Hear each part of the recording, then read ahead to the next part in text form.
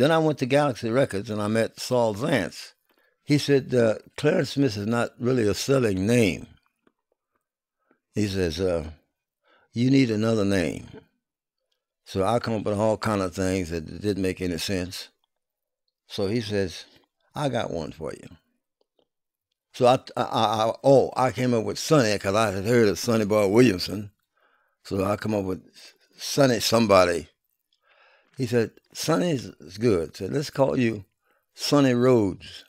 Instead of R O A D S, let's make it distinguished. Make it R H O D E S. I said, that's fine with me. As long as you let me record. It's okay. And that's how the name of Sonny Rhodes got started. Then uh, I started telling people, don't call me Clarence anymore. Call me Sonny. And that's what everybody started doing. That was back in the early 60s when that happened. And they still do that today. Nobody actually knows my name is Clarence Smith. I have to think about it sometime myself.